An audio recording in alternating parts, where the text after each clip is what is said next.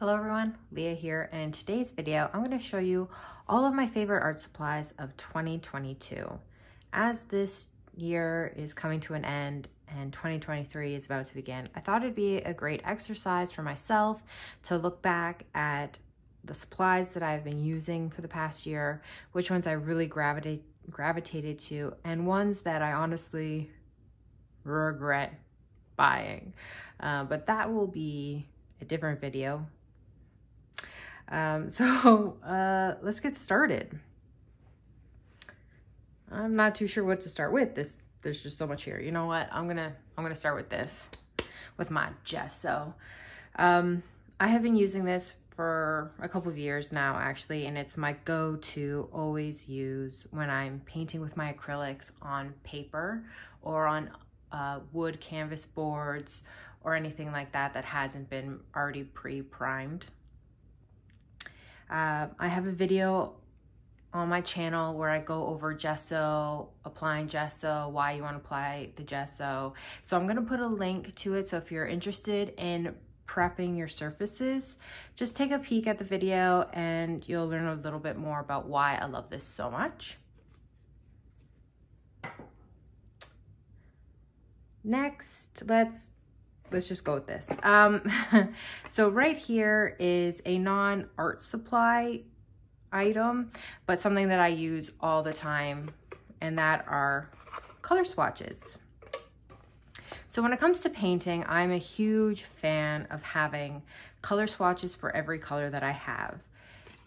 On the back, I'll write down the name brand, the name of the color, and sometimes I'll write down pigment information, especially if it's watercolors. The reason why I love having these is that it really is useful to use when you are trying to think of what color palette to use for a painting. It really helps you go, okay, I really like these four colors, but you know what? Because this brown is on the redder side, should I do these or these, you know, type of thing. It's really useful for that. Also, having color swatches is kind of handy if you're a lot like me and um, you shop online for your art supplies or anything like that and you have several of them. It lets you keep track of the colors that you have already so you don't end up with any duplicates. Plus, when you do cards like this, it gives you an opportunity to see what the paint's gonna be like before you even start painting. So this by Golden is, as you can see, quite glossy. You know, like that's the finished surface. Or this one here has more of a satin matte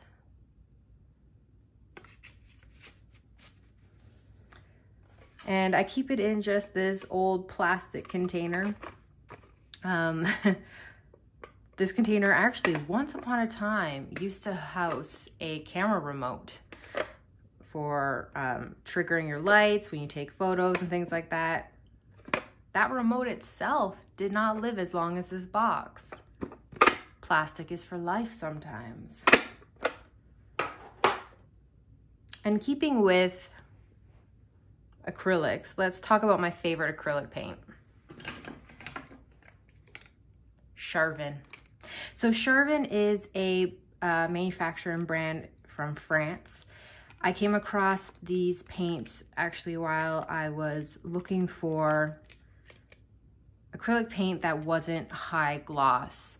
Um, the thing about acrylics is that a lot of brands have a plasticky, glossy finish when they're dry. And I'm not a huge fan of that. I want my paint to be almost matte slash satiny. It's my preferred uh, finish.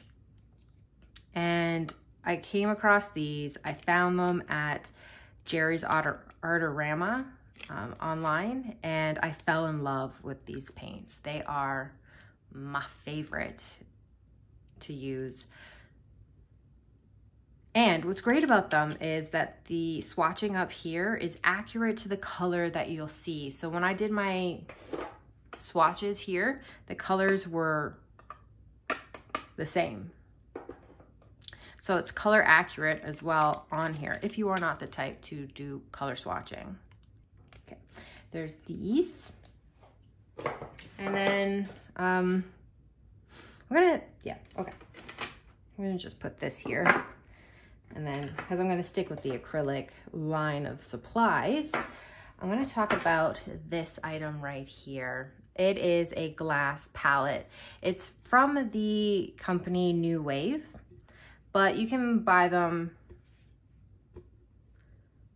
it doesn't matter what brand you go with. Uh, when it comes to painting with acrylics, I absolutely love using glass palettes for mixing my uh, colors. It's because of the ease of use for cleaning. You can just scrape it off and it away you go versus using say a plastic something or throwaway palette papers or anything like this. This for me is the way to go just because it'll last longer.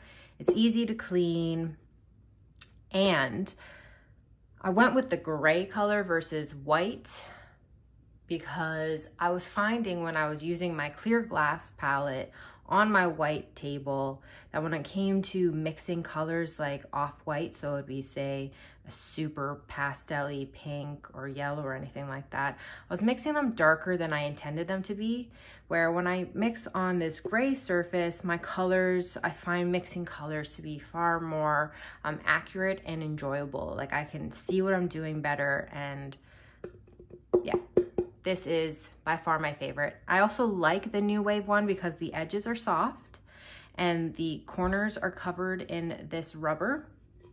And the rubber itself also acts as like little rubber feet on the bottom so it doesn't move when it's on the table. I'm gonna put that there. Next up, let's talk about Dios. This here is my um, Stillman and Birn Alpha series sketchbook. I don't use it for drawing or uh, practicing. I use it for color mixing, for tracking colors that I have, for seeing what I'm doing, um, for just mixing colors and seeing what kind of things I can get. I primarily love using it nowadays for tracking the colors and testing colors as I'm doing paintings. So for a while back in the year, I was doing a painting a day. So every day I sat down to do a painting, I wrote down the colors that I was using. And if I wasn't too sure about a color, I would swatch it out onto the paper to just be like, yeah, yeah, that's the color I want. Or if I'm remixing it to make sure it's the same color. What's great about the Stillman and Birn Alpha series sketchbooks that I love so much is the fact that these paper, like this sheet of paper, it's, it's nice and stiff, it's thick and durable, and it is great for a, a full range of things. Um, I have Alpha uh, series sketchbooks that I do with sketching and drawing and painting and things like that. I just thought I'd show this one because of the purpose that I use it. I use this one the most because of the color swatching. I've had it for a while, as you can see. I think I've had it for, well, I got it before 2022. But yeah, this Alpha Series sketchbook is great. You can do a little bit of everything in it. I'll just put this somewhere here.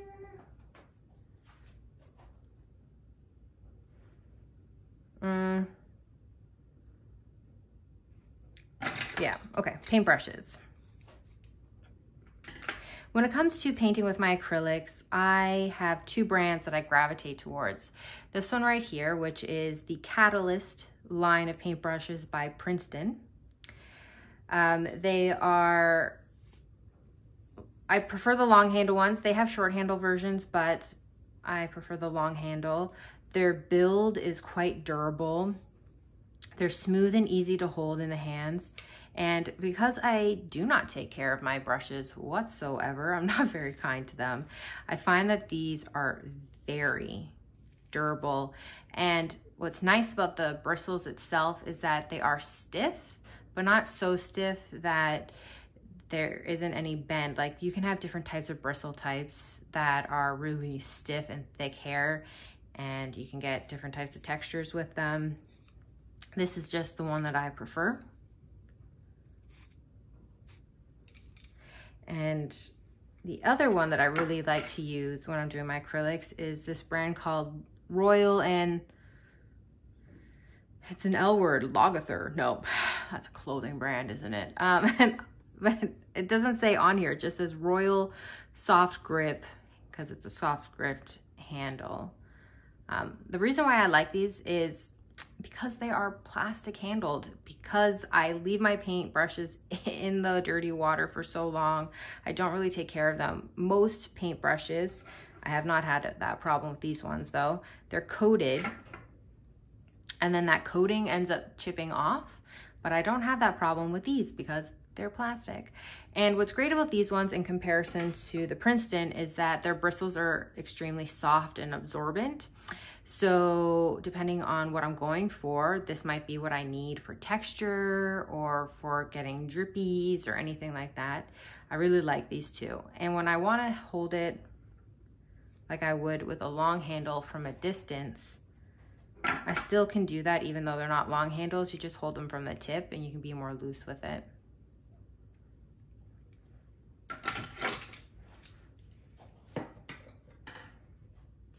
Next up, let's go with my watercolors because in the year 2022, I met and fell in love with Roman Szmal's watercolors. They are my favorite go-to watercolor paint along with Mission Gold. The thing I find when it comes to watercolors is that there are some brands out there like say Daniel Smith as an example, that when you buy a tube of paint, you're spending 20 to $30 for a tube of paint.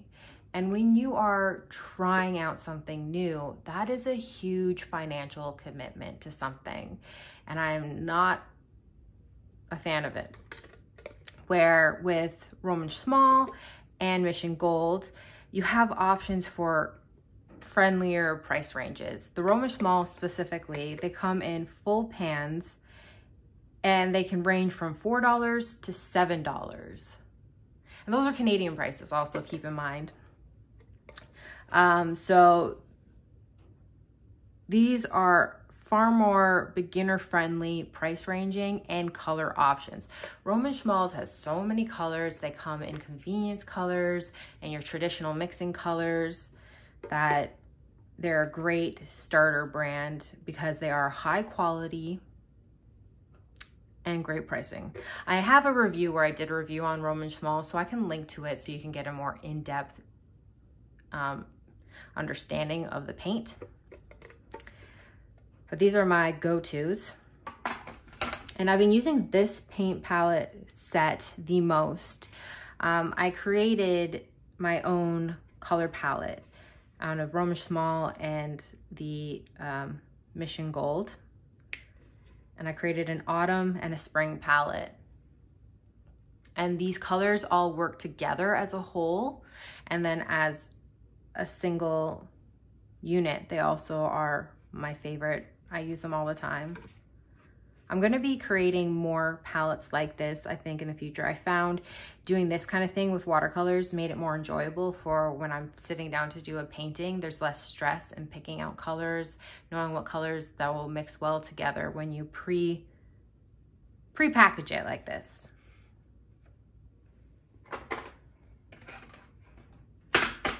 Just gonna put that over here. And also, I'm gonna talk about watercolor brushes. On the channel, you, if you are not um, familiar with my channel, you might not know this, but Princeton has the best, in my opinion, watercolor brushes. Their Neptune line is the perfect synthetic paintbrush. It has a reasonable price range, um, depending on the sizing you wanna go with. So this is a size eight round. It makes nice firm point when it's wet and they're super absorbent so you can get a lot of use out of your paint that's on there. Um, it's actually among one of my most popular videos on here is my review of the Princeton uh, Neptune paintbrush. So I'll also leave a link to that in the description along with this one right here. Um, it's a new to me paintbrush. I've had it for a few months now and I use it all the time when I'm doing my landscapes. It has become one of my favorites this year. It's a dagger brush, so it's the shape that makes it the dagger brush. Um, it's also a synthetic paintbrush. I love the versatility that I can get onto this shape that I've been really enjoying because I can get really thick lines or really thin ones when I'm doing landscapes. So these have been my go-to paintbrushes for watercolor. And for palettes, like for mixing when I'm not using the palette that it's in, so something like this, like I just got this on Amazon and it does me just fine mixing on the metal. But every once in a while when I'm using fresh out of it, you know, a paint tube or anything like that, or if I want to get a lot, so a well's worth of liquid to do a huge area. I prefer porcelain palettes over plastic or anything like that. And the reasoning is cleaning. Some people say porcelain palettes are best for paint staying wet the longest and things like that. I haven't really noticed a difference, but it could be the timelines that I do in my paintings, but I haven't noticed porcelain over plastic keeping the paint drier uh, no, sorry, wet longer so it doesn't dry up as fast. But I have noticed that this is easier to clean, where with plastic, they stain. Um, so yes, porcelain is my favorite to use and it has been, this one specifically has been my go-to to grab this year.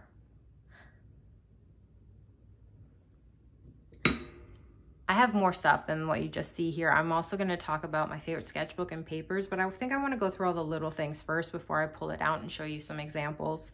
So I'm just going to go over this next, which is a basic pencil sharpener, but um, I've seen it all over and I've seen it on several um, artist channels on YouTube where they'll just show the paintbrush, you know, sitting, like, sorry, not the paintbrush, the uh, pencil sharpener will just be sitting in the frame or they'll use it for like two seconds, but they don't mention what it is.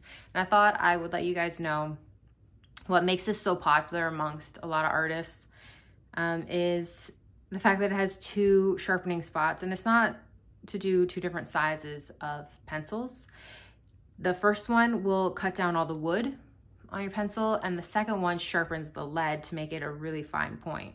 So if you're looking for more of a blunted end, but you want a lot of lead exposed, sharpen with this side. If you want a super sharp um, point, you then sharpen on this end.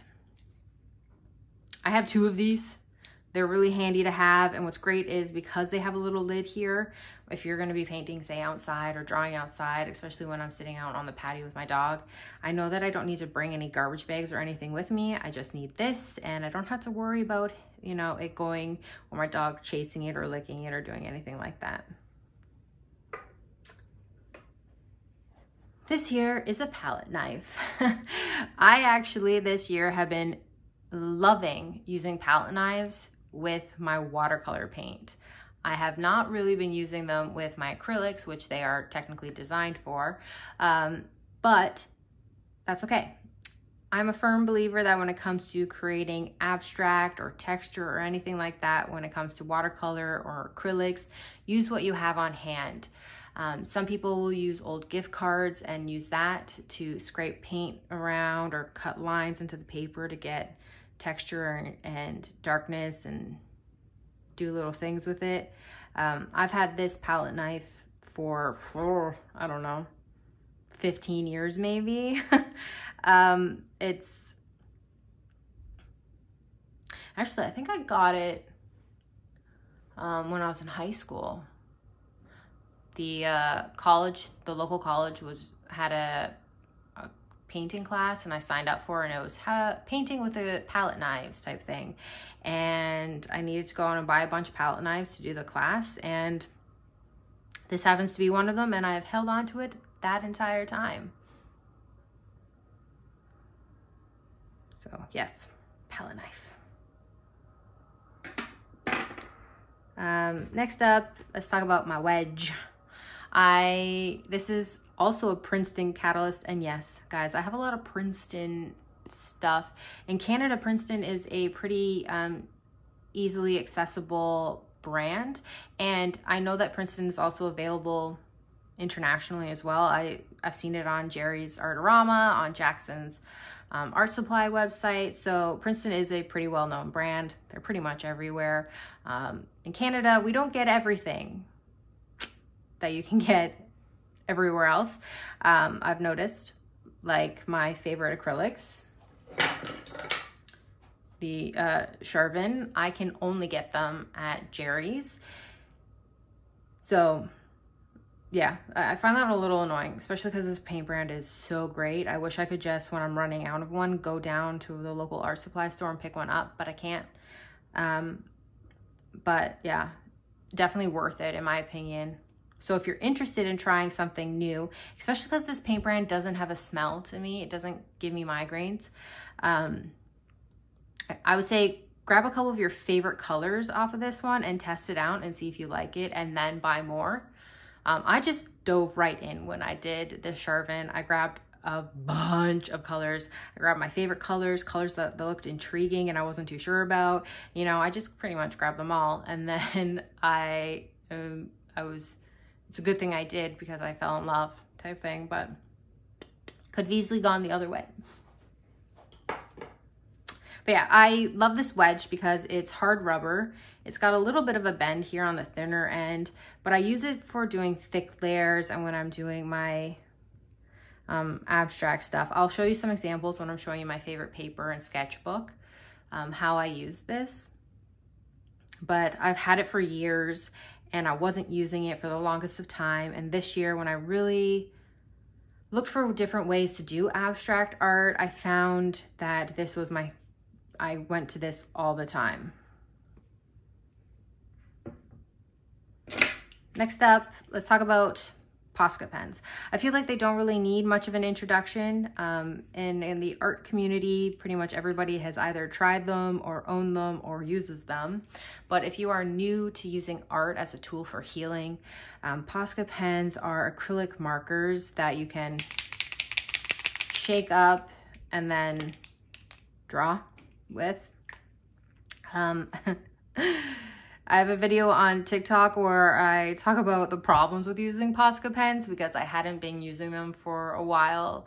And then at the beginning of uh, last year, I actually started using them again. And so if you leave, like with any art supply, if you leave something sitting for a long period of time, you have the option of it drying up or going bad because materials settle and things happen, right? Well, Posca pens, if they do sit for too long and they don't get used, there's a chance that the nibs will dry out and the paint will actually come out of the, I don't know if you can see it, will come out of here. If you push down too hard, it'll just kind of pour out. But I found that by doing stuff like that, it creates an interesting effect when you're painting with them. You can be really messy or really precise and they're kind of great for adding in final detailings and things like that on paintings. I actually want to buy more. so I use these a lot in my sketchbook. And while I'm talking about markers, if you've seen any of my time-lapse videos where I provide taking time to relax with an art time-lapse videos, to help put some calm into your day, you might recognize this marker. I use it all the time. So it's from the band, uh, brand Molotow.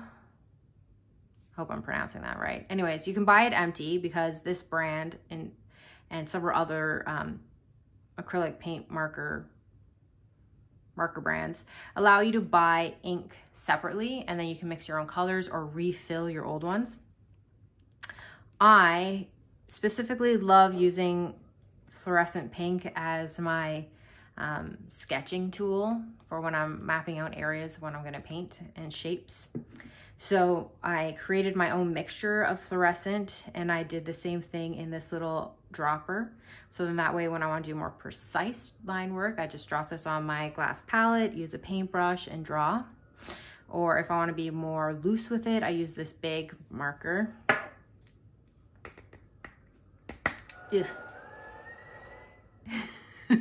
Sorry. Um, so um, there's this, you know, it's, it's really thick and I just get, I am more broad with it and more loose with the way I draw. But it's great and it hasn't dried up on me. I've had this for about mm, over a year and it is, just trying to close it. It's great. It has a little ball in here, so it'll keep your um, paint in there all mixed together. I love it so much. And then I used the ink that I use to actually create it is from Golden. It's their high flow acrylics. It's basically uh, paint that you can use with dip pens. It even says with a um, airbrush, you can use this in an airbrush, which is pretty cool. Um, so I have these. Next up is the Stabilo 3-in-1 Woody. I first bought these and I wasn't too sure about them afterwards because I had found them thanks to another YouTuber. She was talking about how she had just bought it and she's a really big fan of it. And I was like, oh, that looks so cool. And then I bought it and I used it once and I was like, oh. And then I never used it again until about uh, six months ago, I picked it up again the reason why I ended up really liking it is because it's thick. So if you just want to be like really rough with drawing lines or being, you know, getting strange shapes and angles and things and being loose with it, with this so thick, you can get really interesting lines and you can just be really loose with it because it's so thick and it's, you know, hard wood. So it's not going to snap like you were using like say a thin um, watercolor thing. And this is water soluble. I think these were designed for children, but that's okay. Um, so it works when you're mixing, when you're doing mixed media stuff, it works really well. And to continue along with mixed media stuff, I have some inks here. So this one right here is a beautiful green it's actually designed to be used with a dip pen. It's not artist grade ink, so it will, um, you can wash it off or wipe it away or dab and, you know, lift when you're using it in your sketchbook or on paper. Um, it's not archival that I found. It does have little sparkles in here, so you get a glimmer to it. It's really fun to use when you're working in your sketchbook for your healing with art time. The next brand I really like to use for acrylic ink is the Daler-Rowney. Um, you have to mix them, like shake them really well though. The ink separates a little where the pigments are, so I definitely recommend shaking it really well before you use them. But I really like them. And this one right here, their pearlescent one, is more translucent than it is, say, opaque, like it looks in the bottle. I'm going to show you again an example like just now, like in a second. But it uh, it's beautiful and shimmery. And the last thing that I like to use is actually Ecoline watercolor paint. It's liquid, it's more like an ink, but it's watercolor. It's this weird combo of a thing. And it's so fun to use in combination with the inks because they interact very differently. Um, I'm actually gonna grab an example. So this here is just one of my, I sat down, I needed some me time, some healing with art time, and I used all these inks and watercolor and see how I had dropped the watercolor down first and then I put some ink here and I brushed it here with this And see how the ink just went around it and it, how it interacts with the things. It's so interesting to see how the watercolor and the inks behave differently together. Creates interesting little details and paintings. Now that I've gone over all these little things, let's talk about paper. Okay.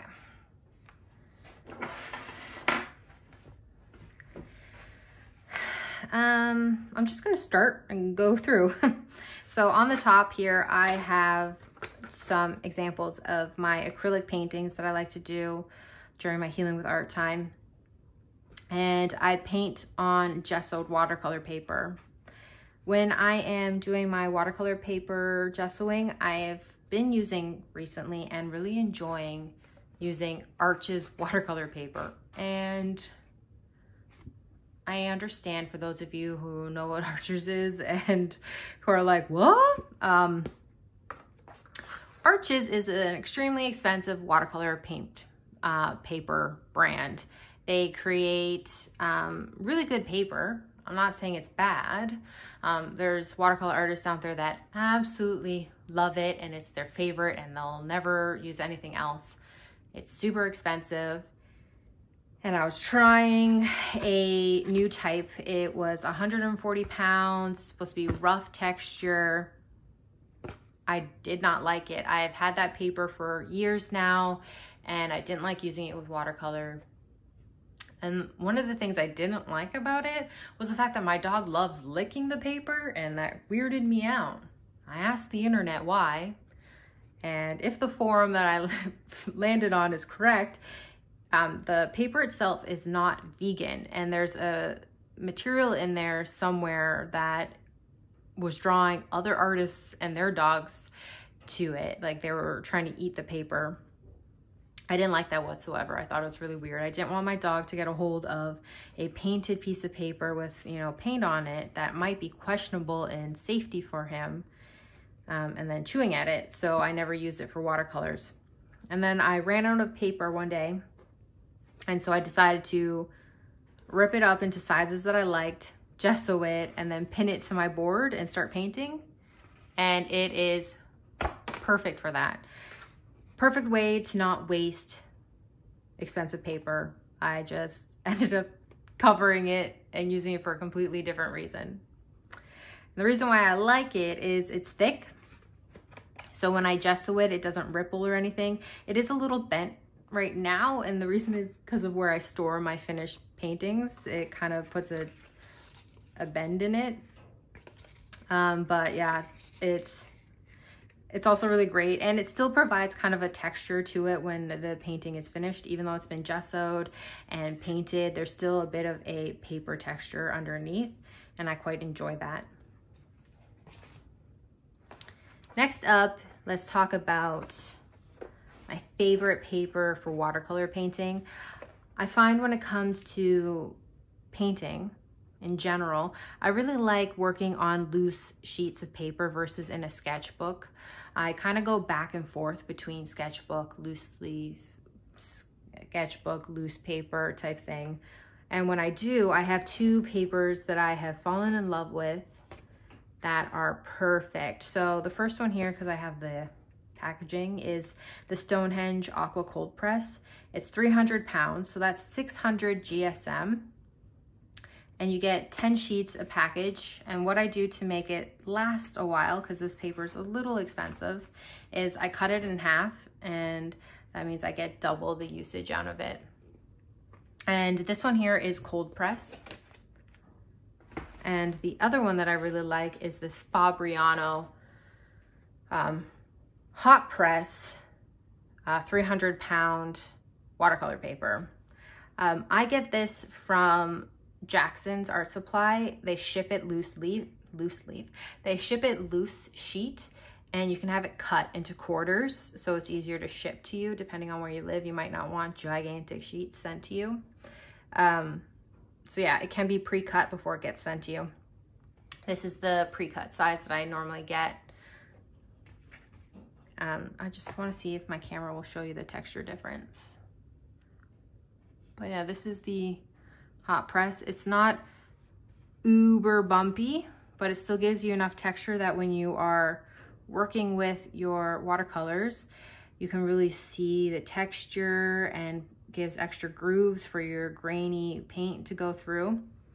And because it's cold pressed, the watercolors stay wet a little bit longer, which means you can, you know, spread them out and have them bleed into each other with more ease.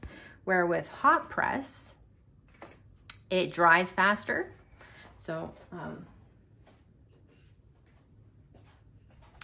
this landscape as an example. So it dries faster. So when I put this batch of water here, see how here it blends smoothly in here, but here it's more of a harder line.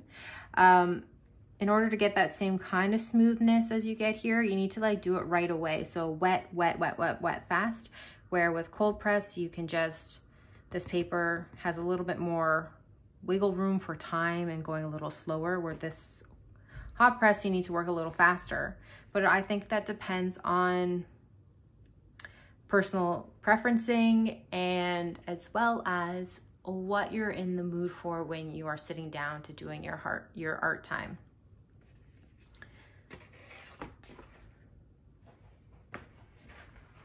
I'm thinking of doing a individual review videos for each of these papers type. So let me know in the comment section below if you'd like to get a more in-depth view of the paper, you know, what it's made with, um, what kind of effects you can get with it, how long it takes to dry, what does the paint, how does it mix when it's on this paper, that kind of thing, you know, more in depth. Let me know in the comment section below. The second to last item I would like to show you is my sketchbook. So I got this back in 2021 um, and I'm almost done it. Um, so here's an example of that acrylic with the pearlescent. See how it's translucent? So nice. Um, so this is an Etchr uh, cold press B5 sketchbook. I feel like that was kind of a tongue twister. um, now, what I really like about this is the paper. It's thick, it's stiff, it can really handle whatever I'm throwing at it. So with these two pages, it kind of gives you an example of me just throwing down ink and paint and layering and it, the paper is able to take it. Now, um, I have done some paintings where it's kind of leaked through the stitching, but because I'm not using this book as a professional standpoint, it is a sketchbook. It's, you know, meant to be messy. Uh, that doesn't bother me. But if you are the type that prefers it to be neat and tidy, that might not be for you. Um, it does really well with watercolors, with ink, with doing different types of meat um, materials like colored pencils. Um, actually,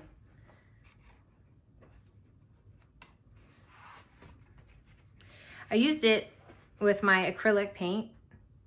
I did not gesso this paper. I just went with my acrylic straight onto it. It did okay, but the problem with doing acrylic paint right onto paper is that paper is absorbent, so it doesn't spread out as smoothly as it would if it was on a gessoed surface. Uh, but back to what I was looking for. right. So this here, what's so great about this sketchbook is that it works with a multiple um, materials. So this here is watercolor, acrylic, colored pencils. So I did a little bit of everything on this sketchbook page and it looks really nice and worked really well and it was enjoyable to use. So, like not every page in my sketchbook is beautiful. And not everything is in order either. You should note that this says maybe, this says 2021, but over here I did this one maybe three months ago. So, but yeah, um, the sketchbook, I really like it. Uh, the fabric here is supposed to have the purpose of you actually painting on it. So you can make this as decorative as you want it. I've just left it. Um, I'm going to do a review of the actual sketchbook when I'm finished it. And I'll leave one page blank so you guys can see exactly how paint flows on it and everything like that. I'm losing my voice. Um, but yeah, this has been my go-to sketchbook this year. Um, and I really, really like it. Now I'm going to show you my last item that I want to show you that's new to me, that came to me only a couple months ago, that I love so much. Um, I just, I don't know if there's enough space. I feel like I should move the camera maybe. Ooh, maybe I'll do that. One second, please. This here is the U.go Plein Air palette box thing from New Wave. That is not accurate at all of a description, but it is the U.go by New Wave. Um, so the U.go is a portable um, canvas. Sorry, uh, this is a little wobbly right now. My table is not level. So I'm apologizing as it happens, but basically you open it up. I have a glass palette here to do all my color mixing on. It comes out too, so this part is magnetic and the palette slides out so I can clean it if I'd like to take it out of here and clean it or I can clean it while it's in there. There are magnets on here so you can add accessories. So you can have trays on the side and I have one of those trays. Um, and then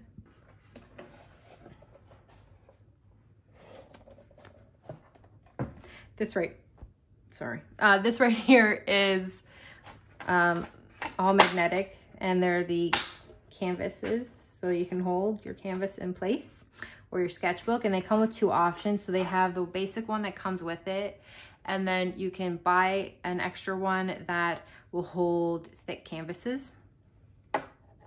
Because I like to do a lot of my little paintings on paper, as you saw, I'm just gonna put that there. I use this and it's just a board. I bought it, it's canvas board that's non-framed and I put it in here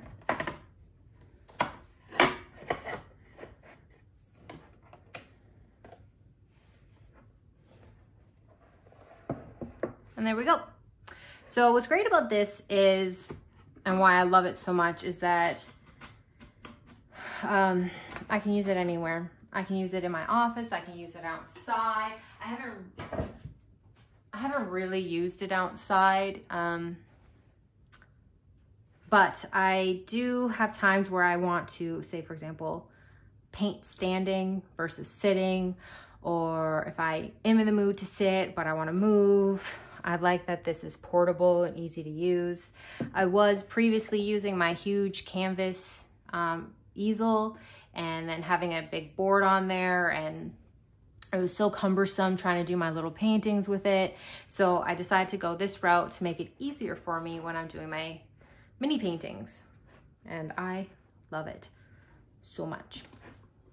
And it's stiff too, so this doesn't like snap down really easily. You have to put some pressure behind it. And on the bottom, it has a tripod attachment area, so you can attach it to a tripod and you can use this anywhere you go. Okay, so that is everything that I have used in the year 2022 that I have absolutely loved. I hope you enjoyed this video. If you have any questions about the materials that I showed you or anything like that and you want to know more about it, um, if I've already done a review, I'm going to have a review for you in the description section below. If I have not made a review yet and you're interested in one, let me know in the comment section below. I will love to put one together for you. Um, if you are interested in learning how to use art as a tool for healing, if you deal with stress, anxiety, or um, any mental health issues, that is what I focus here on my YouTube channel is supplying you guys with videos that will help you during your day. So hit that subscribe button, hit the like button if you liked this, and before I sign off, let's just take two seconds to take a deep breath in. And let that air out. And as we do, let's focus on bringing in some positive air in with our next one. And breathing out any negativity. Alrighty. Until next time, everyone, stay magical.